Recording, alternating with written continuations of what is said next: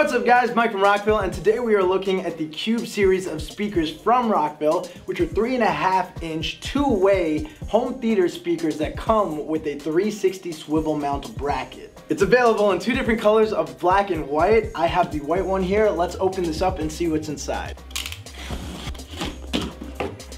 Instruction manual on how to set them up. Got the two speakers here.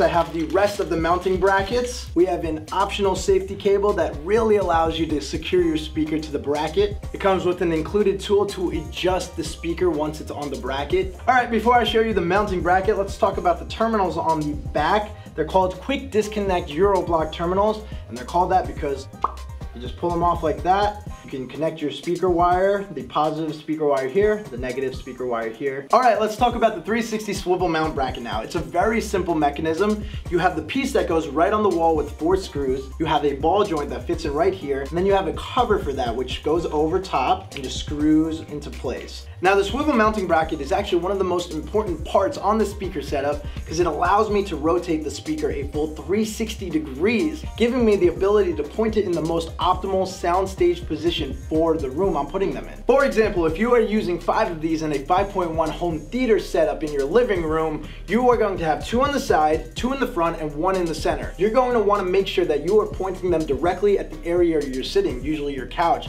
so you're getting the best listening experience. The swivel bracket allows you to do that. Since we're talking about the swivel bracket, let me also bring up another thing that sets our speakers apart. So a lot of other famous brands that make similar style speakers, they only use a one-way speaker design.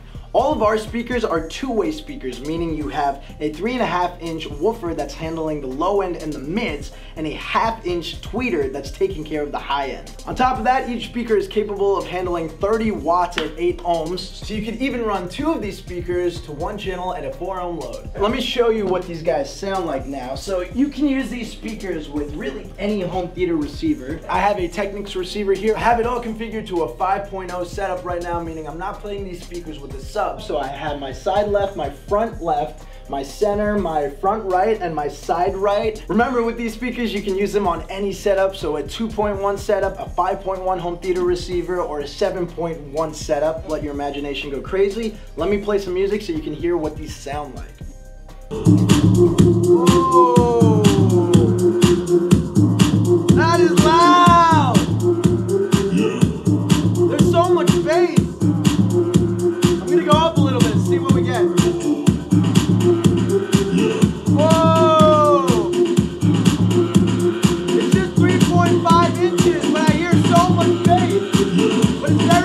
Speaker.